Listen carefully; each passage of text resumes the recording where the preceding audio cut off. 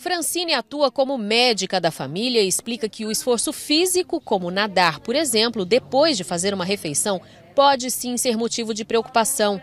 Quando a gente tem é, um, um, processo de grande ingesta de nutrientes, naquele momento a gente precisa de um certo é, repouso, resguardo daquele tempo de uns 30, 40 minutos. Por quê? Porque sempre o corpo vai priorizar aquele órgão que precisa de mais energia. Quando você faz uma ingesta de nutrientes, o o trato gastrointestinal, estômago e intestino vão precisar de uma maior demanda de nutrientes, de sangue circulante, para poder executar a digestão. O assunto veio à tona depois que uma menina de 8 anos morreu afogada na piscina do prédio onde morava, apesar de saber nadar e estar sob a supervisão de adultos.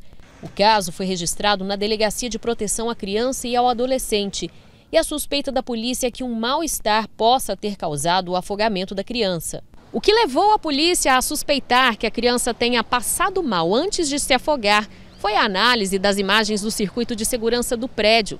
Foi possível ver que a menina sabia nadar e a piscina era rasa, com no máximo 1,30m de profundidade. E num dado momento, em que ela ainda conseguia tocar os pés no fundo da piscina, ela começou a se debater até se afogar.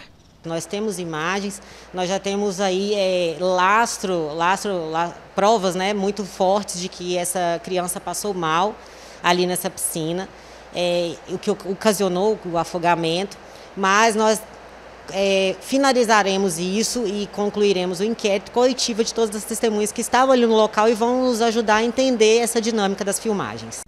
Segundo a médica, a exaustão muscular do esforço na piscina também pode causar cãibras e, no caso das crianças, aumenta o risco de se afogar. Se você fizer um grande esforço, comeu muito, vai fazer um crossfit, se você tiver cãibra, você vai conseguir respirar. Na água, não. Você vai morrer afogado por dificuldade de é, sair e emergir da água.